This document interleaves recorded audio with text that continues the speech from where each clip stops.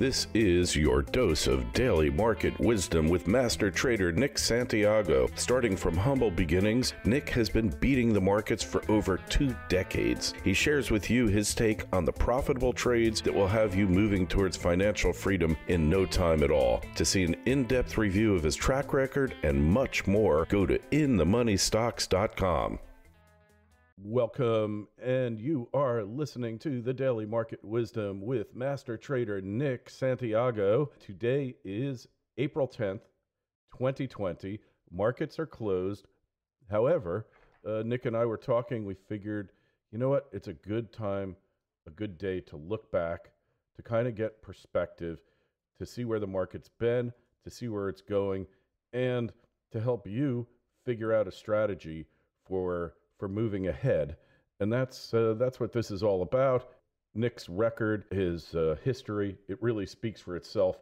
You should just go over to inthemoneystocks.com, check it out, go for the trial membership. You'll be really happy you did. So, Nick, we had this monstrous correction. I mean, it, to me, it's starting to look like a correction, a one and a half month bear move. Under the Dow theory, this would be considered to be a intermediate pullback. Yeah. Of the market's preceding advance, all right, and we could say that started in November of 2016 when uh, Trump was elected. It could go pull back either a third to all of the preceding gains from that rally, and that was really a almost unabated rally. What's your take on it? Well, this was a year anyway that that was supposed to be a corrective year. So the, you know, the zero year kid, and I know we've spoken about this before, is, not a bullish year. It's never been. It's it's just legendary trader W.D. Gann said if you could count on one hand or two hands, all your fingers, you can figure out what the market's going to do year to year. And there are exceptions to every rule. Um, there are times where the zero year will be up, but this was going to be a corrective year. This was also what we call a panic year. And I can't get into that would take me days to tell you how to discover that. But we knew there was going to be some kind of a panic. I just didn't think it would be this big. And I never in a million years thought there was going to be a virus involvement. So, you know, I just want to put that out there. I, I, I don't ever know what the catalyst is going to be, but I didn't. I, I did not think we'd have a decline this quickly. Um, but what we did do was very, very constructive. If if you just look at the charts, traders can easily see everything that happened as it unfolded. And if you just take a look at the S&P 500, or you could use the S&P Spiders, which is the ETF for the S&P 500. And what happened was the spiders actually, when they sold off in the month of February and March, they actually came down to a moving average. And that moving average was at 218 on a monthly chart. And we hit it perfectly to the penny. And then the market started to bounce back up. Now, the charts are telling us that's a support level.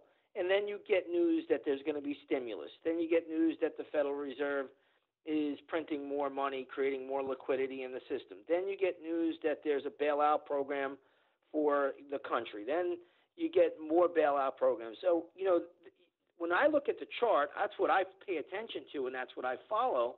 Um, I think for the bulk of this right now, we probably have a short term low in place. Can we go down in due time? Can, you know, we get uh, maybe earnings reports next week or the next month or so, and they're so terrible that you know the market sentiment shifts again. But what I will say is, um, when you do dip again, you start to look to be a buyer again because we've hit critical, critical levels. At worst case, we'll go retest them. If we do break them, it will be very, very minor breaks, but it will get everybody on board to be very scared. And that's what creates big rallies. You can make a case that since we had the 2009 bottom from the Great uh, Recession of 2008, uh, every rally that we've seen has been on the back of a short squeeze. So just think about it. If you get enough people to start betting against it and then they get squeezed out, what do they have to do? They have to buy back in because when you short a stock, you actually go ahead and borrow the stock and then you return it, hopefully at a lower price, and that's where you make your profit. But if you have to return it at a higher price, you're looking to protect your downside because you don't want to lose money yourself. So again, um, this is just the market dynamics. This is how things work. So you know, like I've been saying, I have not been bearish this market since the equinox, and that's also a natural turning point, not only for the Earth, but very, very often it's a natural turning point for the stock market. So um, that was pretty much a bullseye, and that's what my service is called at In the Money Stocks, bull, bullseye. And we've we've pretty much traded that pretty good and um, pretty well. So where where I'm actually thinking the markets this week coming up, we have options expiration next Friday, so you're going to get some what we call a neutral trading week. There'll be a lot of game playing. The institutions will just take stocks all over the map, and they'll try to pin them to a to a, a price where um, the retail option is placing his bet. So where the retail trader option uh, options trader is placing his bet. So the market always tries to get out the retail options trader, and that is coming up next week. So get ready for a week filled of games. Um, but overall, um, we had a really, really constructive uh, market period since the um, since the 23rd of, of, of March. I mean, it's been really a very good move up for the markets, and and I think that can still continue a bit further. However, you know, this week you got to really be on your toes. Hey, and I would I would add that uh, the market gained more this week and, and last than it has at any time percentage wise since 1974. And we're talking, you know, 46 years. And that should tell you a lot. So let's take a look at a few particular sectors. You mentioned hotels, particularly Hilton, Hyatt, and Marriott. And how is that uh, trade shaping up right now? Yeah, it's doing exactly what I thought. What I what I had said on your program was that we we put in a higher low, and now we just wait on pattern. Basically, what I like to call it now is I just stalk the stock. I just sit there and I wait for the pattern to shape out. I don't want to see it go higher. I don't want to see it go lower. I love to just see it go sideways. And if it does that, then it's telling me this thing's going to probably go up to you know ninety, ninety-five dollars. Right now, Hilton today is trading at sixty-eight dollars and forty-five cents. So um, you know, just think about that. That's a tremendous percentage gain um, that's in the making. Hey, and uh, and we should mention today is Good Friday, and Happy Good Friday, and Happy Easter to everyone out there, all of you out there. The, the markets are closed. Let's take a look at precious metals. What are you seeing there? We had a well, big day yesterday. I mean, it was a monster day yesterday, right? You had um, spot gold back to 1740. Um, the GDX, which is the gold miners, finished at you know just under twenty nine dollars. Which, if you remember on your show when I got into mm-hmm. that play, I said that's where it would be going. Yes. Um, and then you had the GLD up, which is gold miners ETF, up four dollars yesterday. I mean, gold has been soaring and roaring. It's a little bit stretched here. It's a little bit extended. Um, after a pullback, though, I like it again on the long side, but you got to let these things pull back in because that's been a straight up move that we've had now. And anytime you get those kind of big um, surges like that, you want to let the market pull back a little bit, let it give you another pattern. Um, this is not a pattern I go up and chase at this stage of the game. But I, I still, you know, the trend overall is up. The trend is up on every single time frame um, from small to large, and you buy pullbacks on that, provided you get the right setup. You know, when, when I got into that GDX position, um, you know, it, it was around twenty four dollars, and uh, I, I remember getting a couple of emails and people saying, "Oh, you know, it's going to go down again because the market's going to fall and margin calls." And you know, again, that's why I don't listen to anything but the charts. And here we are, it went to 23, and now it's at 29. I mean, you know, I, took 18.5% gain yesterday on that trade alone on the second half position. Uh, that's amazing. And that's typical. Silver, silver also had a major day yesterday, couple percent gain. It's uh, back into the 15s. It's making up a lot of lost territory. It was up close to 19 when the uh, crash hit. And I guess the margin calls, the liquidity, right now it's at 1540 uh, on the bid. Uh, that's the spot market. Uh, same deal there. Yeah, silver is going to go probably to 17. Um, that'll take it to its daily chart 200 day moving average, and then you'll see it pause. So, um, I, I, if you're a trader, you, you, know you wait after that pullback. That's when you start to eye the pattern. It, it's going to need some consolidation there, but um, again, the trend is up on all time frames, and it's going to go ultimately go a lot higher. Yeah, ultimately, and we're talking over a period of months and years. Obviously, it's not just going to happen all at once, but those mining companies that uh, that really have been the Maytag repairmen of the the prior bull market. You know, nobody cared about them. They were net nets. I mean, you know, they had more cash in the bank than their stock was trading for. Oftentimes, I mean, it's just been a disfavored sector of the market for nine years. All that's changing now. I mean, go go look at a chart. Uh, maybe the listeners can go look at a chart of Newmont Mining. The ticker symbol is NEM. I mean, that stock yesterday was up six dollars and seventy-eight cents to fifty-seven thirty-one. That's a thirteen percent move yesterday in the name, and um, eh, you know these these stocks have all broken out to the upside. Now they're overbought, they're extended. I would not mm-hmm. be a buyer here, but I think you can get back into them on a pullback so if you're looking to get into uh, mining names right now, I wouldn't do it. I would wait, let it settle in, let the patterns re, re readjust themselves. Um, once you get a basing pattern, that is going to be another opportunity because the trend is up again on all of these uh, mining stocks right now. Hey, and if we go back to the Great Depression, and you know we had gold they like to call it confiscation is really expropriation because they did buy it from you. They didn't just take it and walk away with it. They gave you yeah, dollars. The, the price, the yeah. price was up uh, after after the program yes. was completed. oh, um, yeah, it, it amounted to confiscation because they took your gold and then they devalued the dollar because the dollar was tied to gold and it went up to forty-two dollars the ounce. But in the meantime, you know, you had uh, surrendered all your gold, so you gave up a 20% gain. But the the go-to mining stock at the time was Homestake. And Newmont is the Homestake of today. And Homestake went up 700% during the Great Depression. Well, the market was floundering, and that's what the mining stocks did. And we could see something way, way beyond that now. I'm not, uh, I'm not as good at forecasting as you are, but uh, but certainly something's afoot with these mining stocks that uh, that maybe most of the uh, public is missing out on. Well, what people don't realize is that when when central banks have to print as much money as they have, and, and I'm not anti the central banks by any means, especially the Federal Reserve. I think that they've really made an effort um, to to try to keep things going. Um, there's a lot of mistakes that were made in the past, and that's you know obviously going to come home to roost at some point. Um, but when when when you print that kind of money, um, gold is just telling us inflation is on the cusp. yeah. And I know the Fed has been looking for inflation. They've been talking about a two percent, you know, the GDP, yeah. and they're looking sure. to get inflation going again to fight deflation.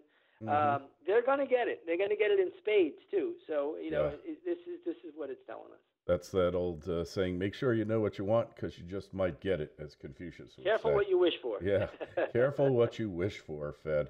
And yeah, so we see that. So what you're seeing here, we're going to have a recovery.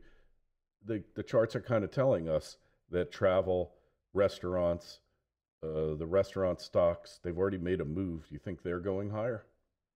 I, I think they all. I think a lot of things need to pull back now um, mm-hmm. at this at this juncture because we've had such a big move. Um, so I, I'm in the camp that I hope we get a pullback this week. I really don't know what we're going to get. I never know what we'll get during an options expiration week. This is going to be options X for April on Friday, but the whole week is really a week of institutional game playing where they're going to try to pin stocks to certain levels depending on what options are out there, and they're going to try to get uh, the majority of the small retail options traders uh, to expire their their trades to expire worthless. That's the name of the game. Yeah. That happens each and every month. So we're we're in that uh, predicament now. But ultimately, yeah, I, I ultimately think we're going to have a monster recovery. I don't think it's just ending here, but this year, the, the zero year of the decade, is going to be a choppy year. There will be there'll be times where I'm going to get short again at some point. Mm-hmm. Um, you know, I have been long now since uh, the equinox, and even actually a little bit before. But there will be times where we will look to sell um, some things out here and, and, and play that short side for trade. But ultimately, yes, I, I do believe the market will um, go a lot higher, and uh, you know at least that's what the charts and the bigger uh, time frames are telling me. Okay, so staffing companies, companies like Manpower and uh, Kelly Services, there's a whole bunch of them. What Yeah. are they? What are their charts screaming out to you now? So those charts have had pretty good bounces as well. We'll, we'll just talk about Manpower since that's probably one of the more popular names. I know there, you know, are many others. Um, but when you when you look at Manpower, it went down to fifty dollars, and that low in, in that stock was was done on the 23rd of March. Again, another Equinox bottom. Then you made a little higher low on the on April 1st, and now it's back above its 20-day moving average, sitting at 61.80. So it's had a really good advance. I think Manpower could go higher. However, you're going to need to see some consolidation because it is currently into a lot of resistance um, right around the $63 level. So um, you could see it went as high uh, yesterday as 63.21. It closed back down um, at 61.80, and that's where it is today. So if it goes sideways, then it's telling you that this stock wants to work its way up into 70 bucks and possibly go as high as 75. So um, there's definitely some more upside there. Um, that's a positive. Um, but after that, then the stock really needs to do a lot of work to get back into that 80 $85 area. That's going to be a tough task. A tall order, in my opinion, but in due time, you know, that can happen. But in, in the short run, you know, you'll go to 70, maybe 75, and then that will be the end of the run for Right. that name. Okay, and so housing stocks, uh, they've taken it on the chin for sure, and you know nobody's buying houses. There's no housing market. I hear uh, ads on the radio saying, "Oh, it's great. There's less competition on the buy side. There's less competition on the sell side." But you can't really sell a house right now because you can't go and look at it unless you're an investor. You don't want to buy a house sight unseen. Well, I'll say this much. Um, Lennar, which is a company, Lennar Corp, which is a home builder that I follow very closely, um, it's had a great move. Again, that stock bottomed out, believe it or not, uh, on the 18th of March, which, which a lot of stocks did right around that time period. You made a higher low on April 3rd, and that low, the higher low, well, let's just talk about the bottom. The bottom uh, in Lennar was 25.42, and that occurred on March 18th. Then on the uh, 2nd of April, they made a higher low at 32.41, and here the stock closed, you know, uh, yesterday at 44.80. So it's had a great move. What I would say is, I love stocks that make higher lows. Watch for the pattern now, and if it goes sideways or it gives you some kind of a minor retrace, it's it's a buy, and this stock can go easily back up to 55, 60 bucks. Interesting. So, so this could be indicative of what the housing sector is going to do then, huh? Yeah. So I mean, when I look at the housing sector, um, I look at um, another chart. You could always look at the home builders, um, but I like to look at the Phil- Philadelphia uh, Housing Sector Index. That's um, the HGX, is what we call it, and that has the same exact pattern as Lennar has. So um, that's what I like to look at. It's had a great reversal, and and the irony here is, if you know technicals, which you know I teach um, everybody what I do. So there's nothing secret. You know, all, all of my members and subscribers, if they've taken any of my classes or courses, they know exactly how I how I pick these stocks out and how I give out my what I say in my reports. I show them exactly what I do, and if if they take these classes, they get they get educated on it. But the Philadelphia Semiconductor Index on the monthly chart pierced through its 200 month moving average, and and that was at $200.55 and now here we are sitting at 257 so you know it's done the same thing. It's gone down to a level where um, there was massive support and it followed the rules. It bounced back up. So it's had a great run. I think housing stocks can still go a little bit higher um, over the next few weeks but then then they're going to come back in again. Not saying they'll make new lows but you know they'll retrace they'll pull back like everything else so nothing goes up in a straight line. There's always more opportunities that will develop, and you know that's the that's the idea of a trader. We we don't we don't get fixated in you know we're going to hold this stock for the next 10 years. We're not doing what Warren Buffett does. Mm-hmm. Um, God bless Warren Buffett. Nothing against him. It's worked for him. But if, you know, not many people can get involved in a stock and be involved. Like Goldman Sachs, he got involved in that in 2008 when the stock was 125 dollars a share. He was able to weather the storm down to 60, 65 dollars, which was the low in the stock. We don't do that. We're not looking to stay in that in the stock that long. Um, we're looking to make our, our, our move out of it and um, gain, get our gain, and then we just go hunting for the next one. Right. So you go look for the next opportunity. And I guess the question is like, we got we, in the past three weeks, 16 million unemployment insurance claims, right? And how many of those people, Nick, are going to get hired back, in your opinion? If you were charting unemployment, what would you say? Well, I haven't looked at it, but I would say, you know, probably over half, mm-hmm. I think, will get hired back. Um, maybe more, maybe a little bit more. Mm-hmm. Yeah, it's it's a, it's an interesting conundrum, right? Um, it is. It is. Yeah. So so you have to wonder what uh, where the where the future is, and uh, so much liquidity is raced into the market, perhaps uh, to the detriment of the uh, dollar and uh, and currencies, right? But but nonetheless, uh, the markets are always the the beneficiary of increased liquidity. Yes, that is the bottom line. Uh, when you increase the money supply, it has to go somewhere. And where's it going to go? Into bonds? I don't think so. Um, who would want to own a bond when look at what you're getting on a, you know, your your your, your yield, the ten year yield is, uh, you know, seven tenths of one percent. I mean, you know, mm-hmm. who, who's going to do that? There's there's nothing there. Yeah, yeah, well, these got to go into stocks. As the saying goes, these are interesting times, are they not? And and really, we've uh, we've seen so much transpire in such a short period of time. What uh, what's the best way going ahead to uh, to play this market? I think it's a trader's market. So, in my opinion, um, you have to really understand charts. You have to really understand the capital and money flows each and every day.